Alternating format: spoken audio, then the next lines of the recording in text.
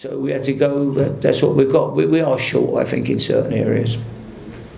Would, it, would that mean that you know the players that you're going to go for in, in January? Not really. No, I ain't got a clue we go for. You know, I don't want to spend their money really. I, I've got to be honest with you. I, there's, there's an awful lot of players at this club who earn far too much money for what they are.